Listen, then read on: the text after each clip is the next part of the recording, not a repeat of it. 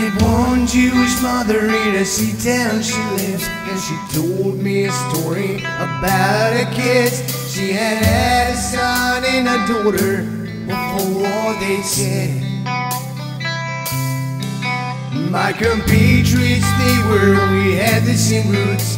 The saints and the prophets and Jesus Christ wounds by the son and the daughter, they died for their promised land.